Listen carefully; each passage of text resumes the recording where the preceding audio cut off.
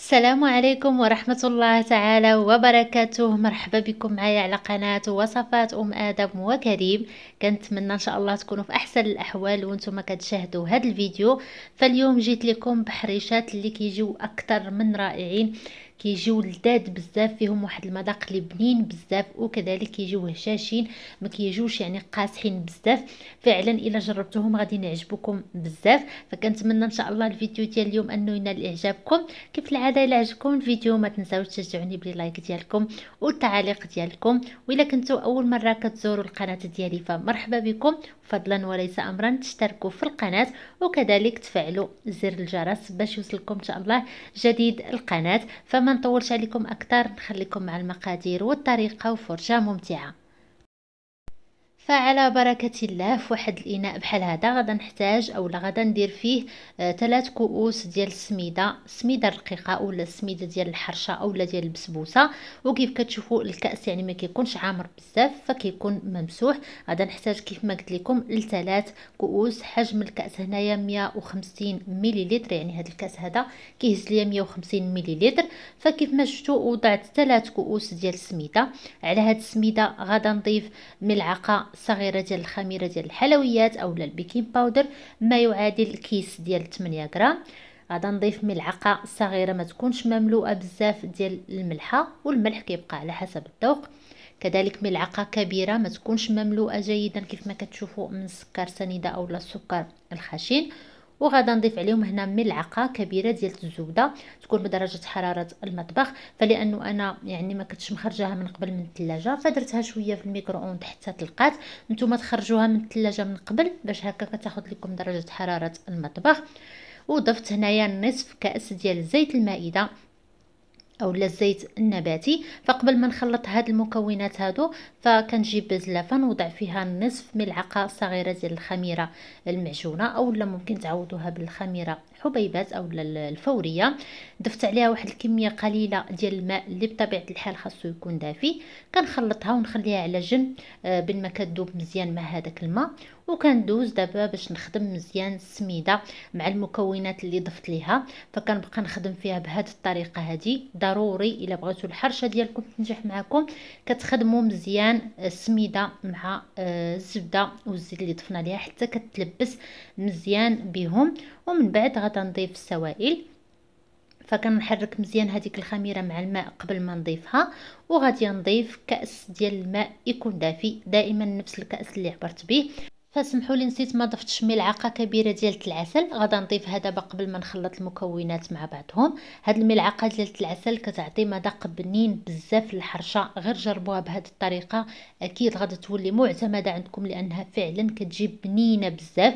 لكن نتوما فاش تبغيو ديروا العسل فمن بعد ما كتخدموا سميدة مع الزبدة والزيت اللي آه اللي درت في الأول. يعني بعد ما كتبسبسوا السميده كتضيفوا الملعقة ديال العسل كتخدموها حتى هي مع السميدة. عاد باش كتضيفوا الخليط ديال الخميرة مع الماء والكأس ديال الماء دافئ. وكيف كتشوفوا كتخلطوا المكونات غير برؤوس الأصابع ديالكم. يعني ما كنعجنوش الحرشة. فكيف ما كتعرفوا أن الحرشة ما كتعجنش فقط غير كنخلطوها برؤوس الأصابع. واخا كيبان لكم الخليط بانه خفيف من بعد راه كيعاود ينشف. اولا السميدة كتشرب غادا نغطيها بغطاية ونخليها آه، في واحد المكان واحد المدة ديال عشر دقائق حتى كتشرب لينا هذيك السميدة.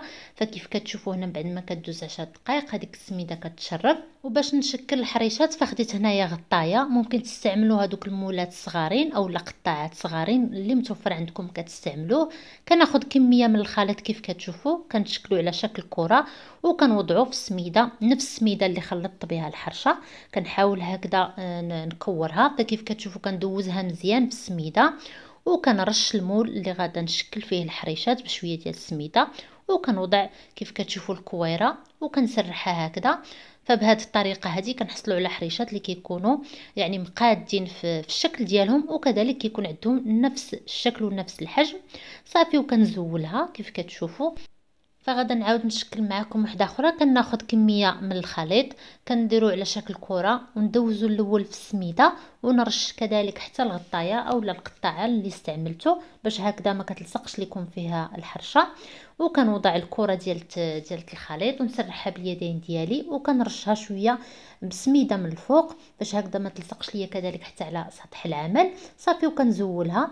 كيف كتشوفوا يعني طريقة اللي سهلة جدا وكيف ما قلت لكم بهذه الطريقة هذه كنحصلوا على حريشات اللي كيكونوا في نفس الحجم وكذلك نفس الشكل كيكون الشكل ديالهم مقاد ومتناسق. وتقدروا كذلك ديروا حرشة بحجم عائلي لما بغيتوش ديروا هكذا حريشات صغارين بإمكانكم ديروا حرشة يكون الحجم ديالها كبير. صافي غادا نستمر على هذا الشكل هذا حتى كنكمل الكمية اللي عندي كاملة كنشكلها على شكل حريشات.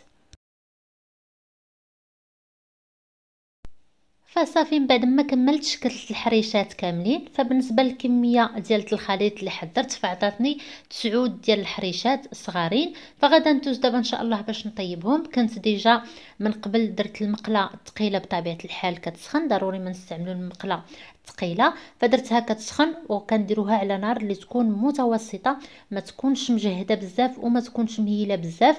فكنوضع فيها آه، الحريشات على هذا الشكل هذا نحاول نقادهم. كيف ما قلت لكم النار تكون متوسطة ما تكونش مهيلة.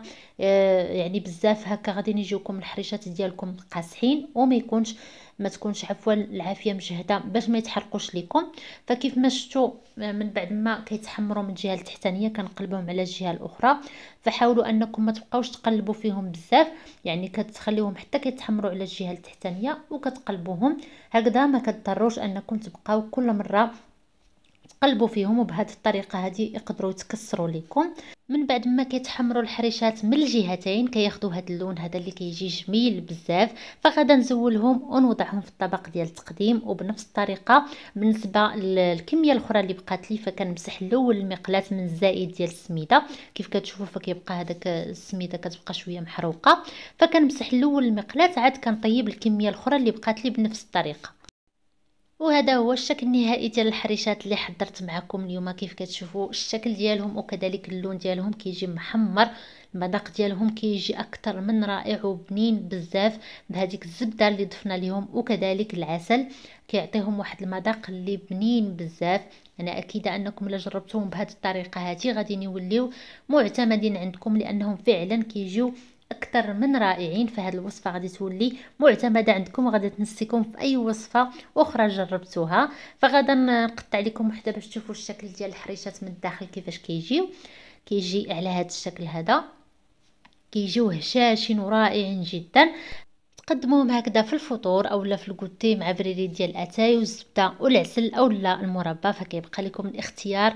فكنتمنى إن شاء الله الوصفة ديال اليوم والفيديو ديال اليوم أنه ينال إعجابكم. كيف العادة ما تنساوش توصلوا الفيديو لاكبر عدد من اللايكات وتبارطاجيوه مع أحبابكم وصحابكم على مواقع التواصل الاجتماعي. شكرا لكم بزاف على المشاهدة. ونتلاقى بكم إن شاء الله مرة أخرى على قناة وصفات أم آدم وكريم.